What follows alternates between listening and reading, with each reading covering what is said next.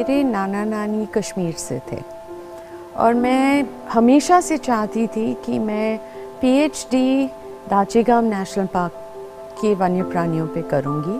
और मेरा main interest था स्नो लेपर्ड्स तो मैं मिली थी एच एस पवार साहब से। तो उन्होंने मुझे बुलाया और बोला कि मैं तुम्हें एक चैलेंज देना चाहता हूँ कि हमारे राष्ट्रीय प्राणी पर, किसी ने आज तक कोई रिसर्च नहीं किया है। तो क्या तुम कर पाओगी? तो मैंने कहा हाँ ज़रूर। और वैसे भी बचपन से बड़े कैट्स का शौक था और जैसे ही मौका मिला मैंने हाँ बोला। और समय लगा परमिशंस लेने का सब कुछ करने का और आसान नहीं था।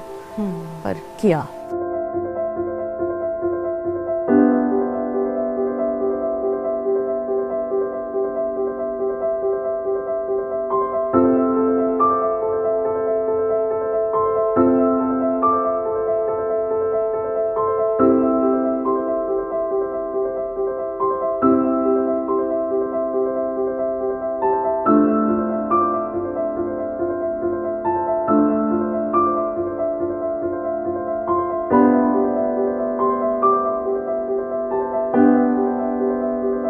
मेरे ख्याल सबसे बड़ी बात यह है कि जिस इलाके में मैं काम करती हूँ कान्हा बांधवगढ़ मध्य हम्म। प्रदेश वहाँ पे मैंने करीबन 80 गाँव में काम किया है तो वो लोग अब समझते हैं कि मैं उनकी अपनी हूँ और आज जो भी कुछ काम होता है वहाँ पे वो मुझे उसमें एक भाग देते हैं और जो मैं बोलती हूँ, उसका रिस्पेक्ट है, उसका वज़न है और और लोग मानते हैं वो बात।